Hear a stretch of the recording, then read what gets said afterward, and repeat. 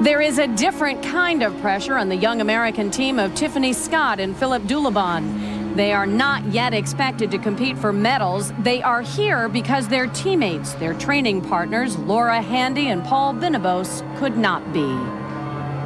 On September 29th, right here at one of the ice rinks on the campus of the University of Delaware, Laura Handy and Paul Binnebose showed up for a routine morning practice. Just like they did every day, they took the ice to work on their short program. But this time, less than 20 minutes into the workout, Paul would be fighting for his life.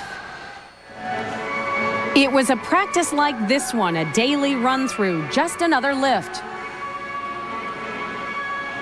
We went up for a star lift, and it felt a little weird. So um, I thought maybe he was going to put it down, but it just it happened like that.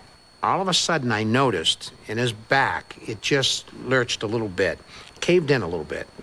At which point, he was on the side of his skate and down so quickly, I couldn't believe it. And he hit his, his backside, his back, and his head, all in that order.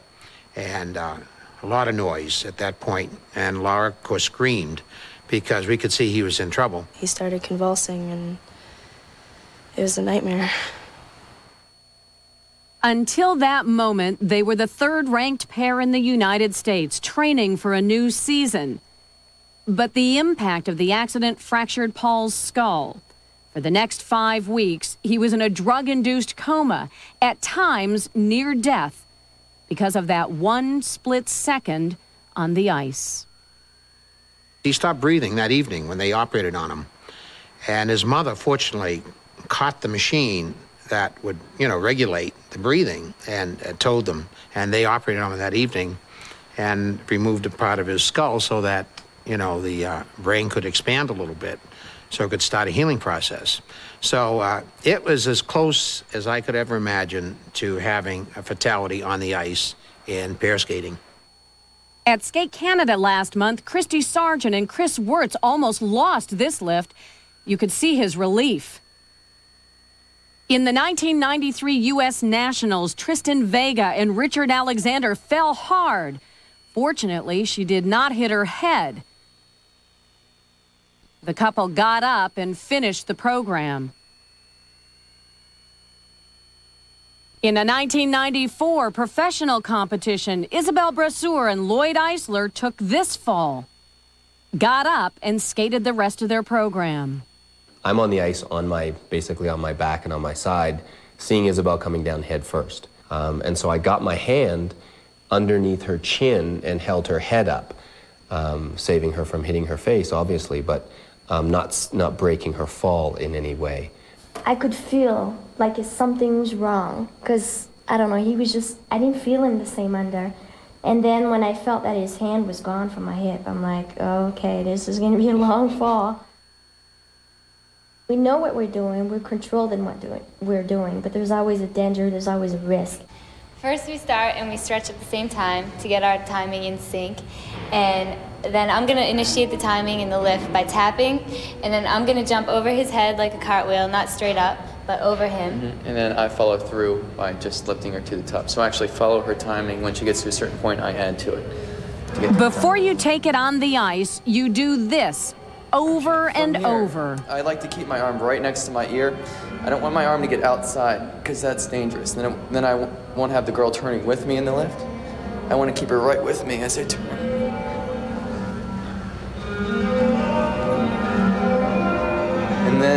I switch hips in the dismount. Bring her down. Stretch. Voila. But lack of training had nothing to do with what happened to Paul Binnebose. In practice, a chronically sore back gave out at precisely the wrong time. His coach says that only one thing could have prevented this disaster. I would like to see skaters wear helmets, some type of a helmet, thin material that's strong, that's not going to throw them off balance, and have both the girls and the boys wear the helmets. Uh, it's questionable to say whether Paul, how serious his injury would have been had he had a helmet on. It could have been anything from a, just a good old headache to maybe a, a light brain concussion. Nothing as serious as this. 22-year-old Paul Binnebose came home two weeks ago. He's lost 40 pounds, has some facial paralysis, and is undergoing intensive physical therapy. But he's expected to make a full recovery, and a week ago Tuesday visited his ice rink. Laura Handy was not hurt in the accident and recently began skating again. She and Paul are a couple off the ice, and yes, they plan to continue to be one on the ice. I enjoyed it actually. It was fun to get out there. I mean, I missed having Paul out there with me, but um, I think he'll be out there again. He's stubborn and he's a fighter from the word go. He's a real competitor.